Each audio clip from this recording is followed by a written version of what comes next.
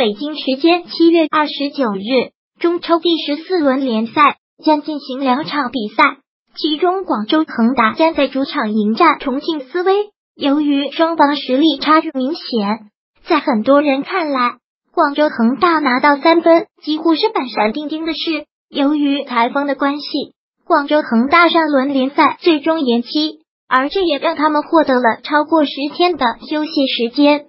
对于在间歇期加盟球队的两名新员来讲，这绝对是难得的磨合机会。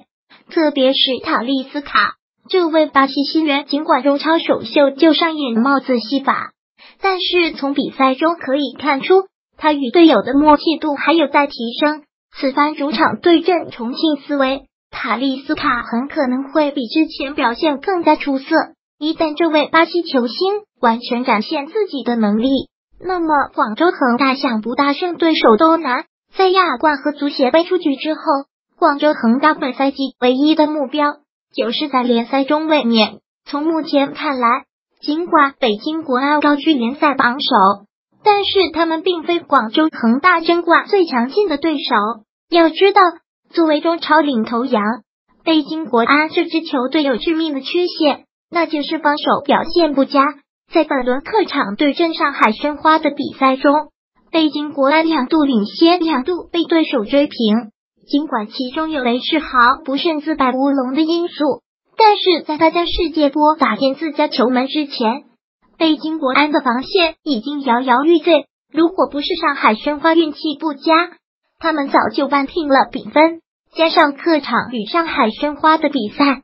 北京国安最近五场各项比赛相加已经丢了八球，而在中超比赛中，十四轮联赛过后，他们更是被对手打进二十一球。期间，他们有十一场比赛被对手破门，其中丢掉二球或以上的比赛多达六场。很显然，这中超领头羊的防线跟纸狐狸一样，稍微有点能力的球队都能在他们身上找到进球的快感。一旦北京国安的进攻球员状态不佳，这支球队的成绩立马就会受到影响。相比之下，上海上港才是广州恒大争冠的主要对手。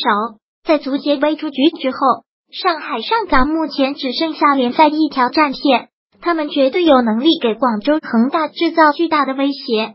要知道，上海上港是目前中超进球最多的球队，连丢球也并列最少。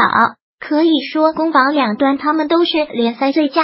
上个赛季，上海上港就已经有了争冠的实力，只不过最后关头他们没能顶住压力，最终功亏一篑。